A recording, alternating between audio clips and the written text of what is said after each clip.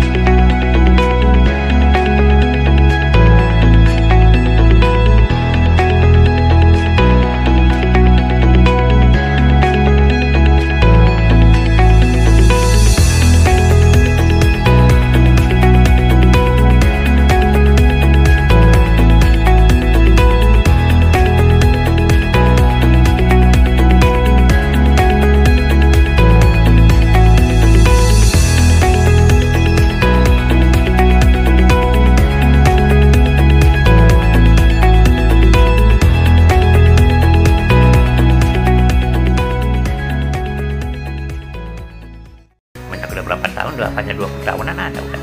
Tahunan ya? Iya. Kalau ada acara aja ada pesen-pesanan gitu orang pesen gitu. Kalau orang lagi itu mah agak kalau nggak ada pesanan nggak bikin kayaknya. Pesanan ya tergantung pesanan ya ya Kong? dengan pesanan aja. Ah, ya pesanan mah banyak dari mana aja ada. Apa dari Joglo yang dari Pondok Bahar dari Dongkal ya orang sini juga orang Bojongnya. Hmm. ya banyak itu pesan dari Poncol dari mana gua emang cepat eh jalan Gajah Mada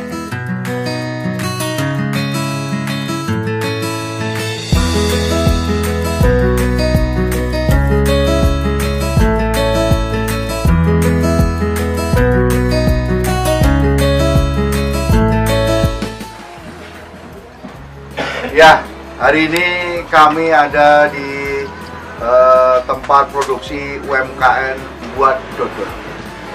Spesial hari ini adalah tempatnya Pak Ali ini adalah di Kelurahan Kunciran Indah, Kecamatan Pinang.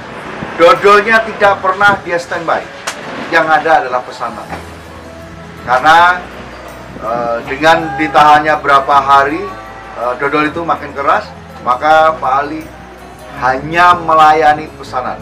Ini kalau satu tungku begini penuh, ini 50 kilo. Rasanya nggak macam-macam, satu saja rasa. manis durian Ya, manis. Dan ini istimewanya, dodolnya wangi memang. Kualitasnya nggak kaleng-kaleng karena ya, sebiasa Bali ini memang nggak mau tanpa pesanan. Ini luar biasa. Dodol dibuat karena pesanan. Ya, saya lihat seperti bikin keris zaman dulu. Dibikin karena pesanan. Bukan mau bikin banyak atau siapa yang mau beli tidak. Dibikin karena pesanan. Kalian saudara-saudara mau hajatan, mau resepsi dan lain sebagainya, ada arisan keluarga, pesan langsung. Karena tidak disimpan stok terlalu lama, langsung dibuat. Nah, nasi gimana gitu nggak?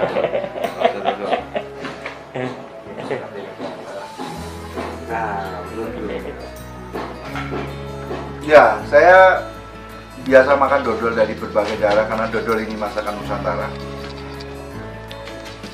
Saya merasakan dodolnya Pak Ali ini istimewanya adalah teksturnya nggak keras, lembut.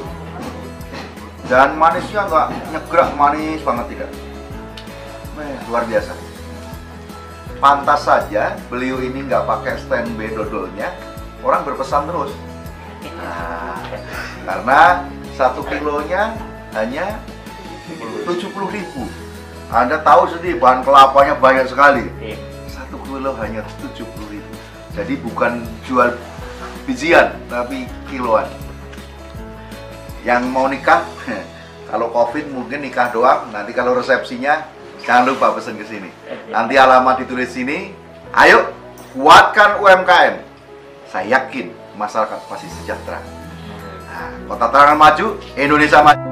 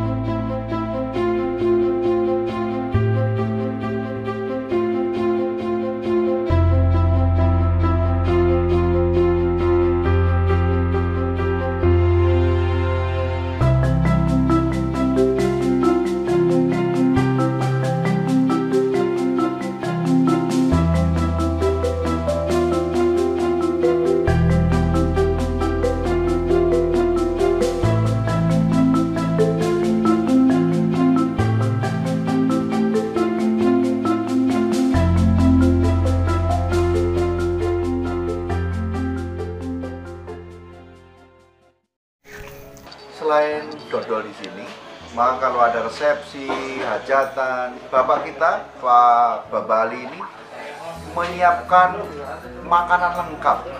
Apa saja kita tanya. Ya, apa saja Mbak yang di tanya yang disiapkan? wajib Wajib, keplak, kuli serundeng. Sekali lagi, dodol. Jadi nggak usah repot-repot cari di daerah lain. Di kampung kita sudah lengkap. Kalau ada acara, arisan, resepsi, lengkap sudah. Higienis, halal, sehat, dan hasil dari kampung sendiri. Mantap, top BGT.